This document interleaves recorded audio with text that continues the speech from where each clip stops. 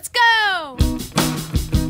Hi everybody, today I have an online drugstore haul. Originally I was just going to do a massive drugstore haul, but then I was like, this is gonna be like a half an hour, 45 minute video.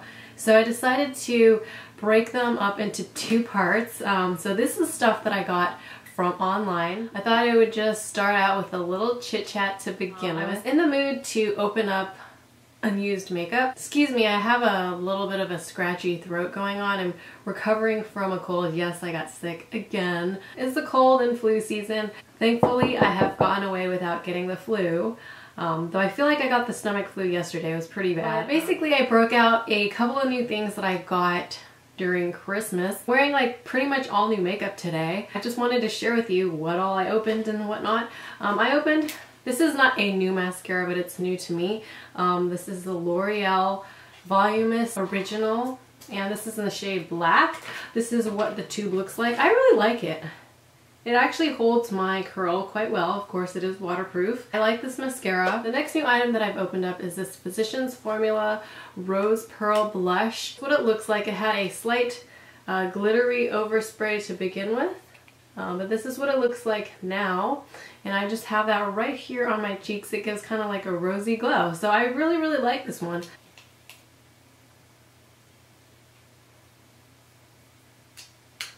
Can you see that little glow right around there? Yeah, so I'm really digging that also.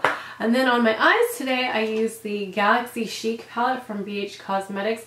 Really love this palette. I feel like I need to do a video on this today if I can, but show it to you really quickly right there. Love this palette. I think it's so amazing. Everything on my eye today is from this, or in terms of shadows that is. Um, and then on my lips, I used the Estee Lauder Pure Color Glosses. I used the middle one right here. And I also used the NYX Mauve Lip Liner. Um, so that's pretty much what I have on today. I've just been in the mood to open some of my unopened makeup and start playing with it. Um, so that's why I wanted to get this haul out of the way because I wanted to start playing with some of these things. Right before Thanksgiving, Black Friday, before they had all the sales, um, Ulta had a $5 off $10 coupon online and free shipping. So you could essentially make a $10 purchase and only pay $5. Um, so I did it twice. Well, actually I only did it once and then I tried to do it a second time, but the second time um, the coupon had changed to 350 off, um, but I also had other coupons too, so I ended up getting everything for really, really cheap. Um, so the first bundle of things that I purchased was these two Real Techniques Miracle Complexion Sponges. I really like them, so I just got two more. My original one I've used quite a bit. I've used, I actually used the old one today, um, but it's starting to look a little dingy, so I picked up two. They were buy one, get one half off, so they were quite affordable. And then I also picked up this Physicians Formula Nude Wear in medium. This was like three or four dollars. So this whole purchase, including another coupon I had, cost me about five dollars after tax. So before tax it was like $4 or something. Just super, super cheap. My second Ulta purchase, I bought these 200 count cotton balls. I know, not very exciting cotton balls. And I also picked up this Physicians Formula Super CC Plus in the color light. And it just has different swirls of green, yellow, and pink, it looks like.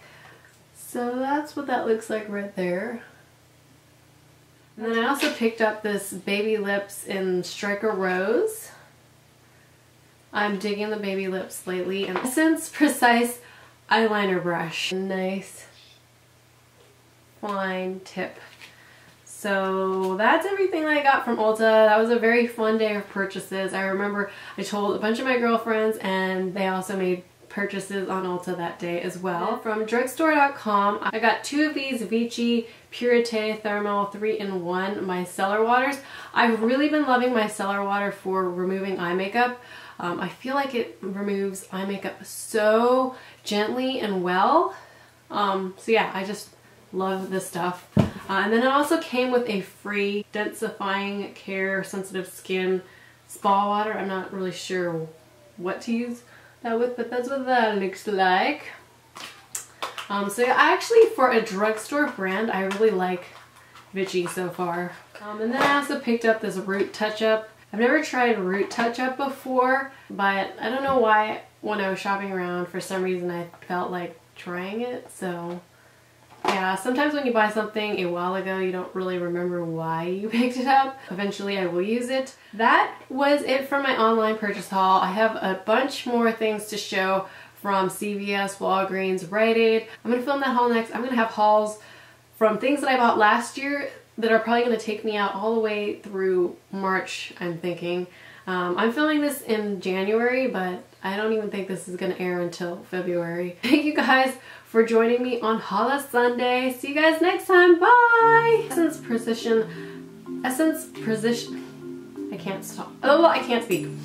Essence Precise, I went,